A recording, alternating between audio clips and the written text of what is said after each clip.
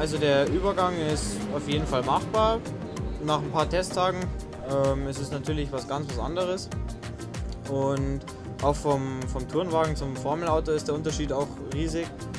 Äh, mir persönlich gefällt der Turnwagen jetzt besser, weil ich ähm, einfach mich drin wohler fühle. Ich bin zu, zu groß, zu breit für, einen, äh, für ein Formelauto und deswegen ist das hier eher so, was mir gefällt.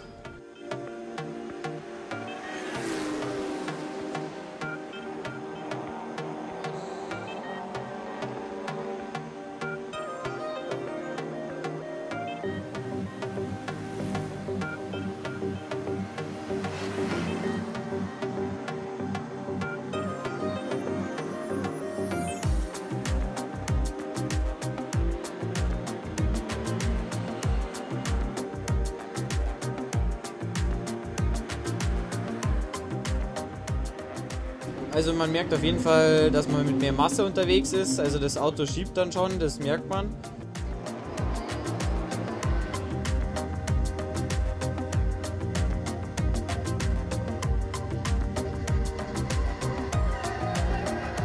Es ist generell einfach alles größer.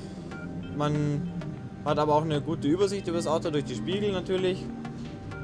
Und sonst, mei, ist halt ein ganz normales, im Grunde ist es ein normales Auto. Beim Kart hockt man halt doch auf seinem 2 Quadratmeter Ding und äh, ist alles ein bisschen kleiner.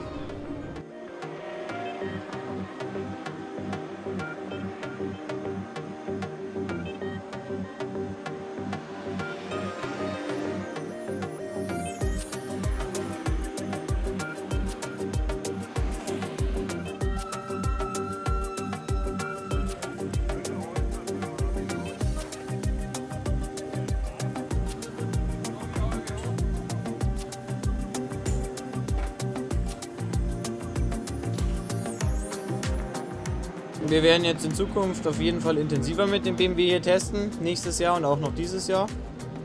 Äh, dass ich einfach Fahrpraxis gewinne und äh, besser werde, definitiv. Und dann, genau, renntechnisch schauen wir mal danach.